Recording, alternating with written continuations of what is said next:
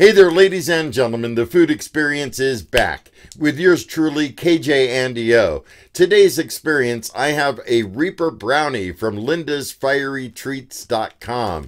They cost $4. You could get them by going to lindasfierytreats.com. I'll go ahead and post a link in the description down below, making it easy for you guys to navigate there and pick one of these up today.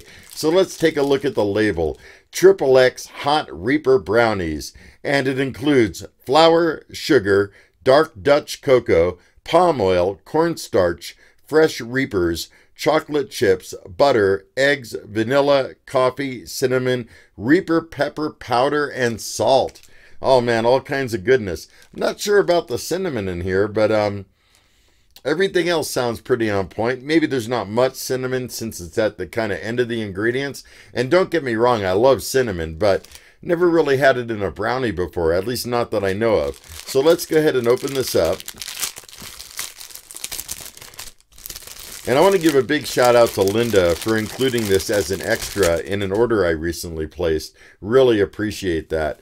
So it's wrapped once and then it's wrapped twice. Oh, that smells really good. Very chocolatey. I definitely could smell the Reapers just a little bit. Not too heavy, but just a little bit. And that's the good thing about chocolate and cocoa. It kind of masks the Reaper a little bit. So let's go ahead and do a bite.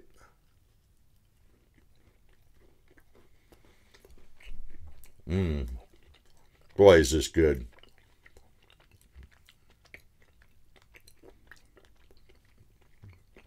Oh, yeah, there we go. The heat's coming.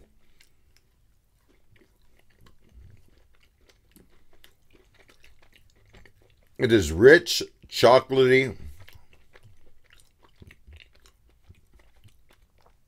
I don't really notice the cinnamon presence. The Reapers are kicking in now, though. I'll tell you what. It's fairly soft, though I have been sitting on it for a little while. Got me by the throat a little bit.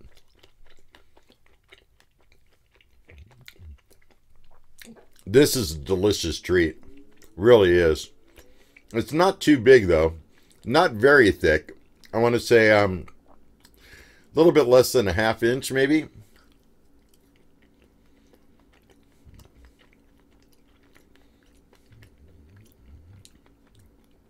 Definitely delicious.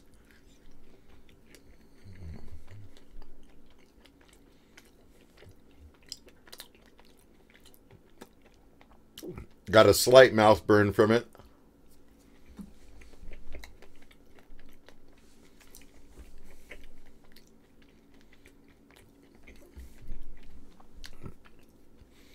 I will say, um, her other treats, I've ordered her um, pecan brittle. It's amazing.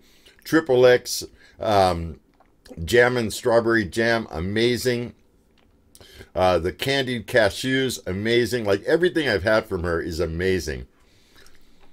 This is no exception. So where am I at right now? Okay, so on a heat level scale of 1 to 10, I'm feeling it on my tongue, feeling it on my throat, making the top of my head sweat a little bit. yeah, that throat, I tell you. Uh, for me, it's like a 2 out of 10 in heat, okay? Uh, maybe just a little bit higher than that. It's still building a little bit. But yeah, my whole tongue, I can feel it. The throat, the sweat.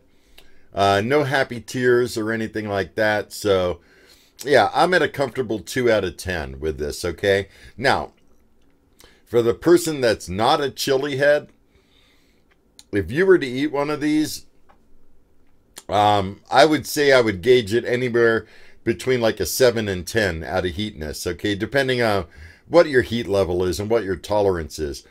For people that love spicy foods, but you don't chase the heat or, you know, go after the super hots, um, it's probably going to put you between a 3 and a 5, you know?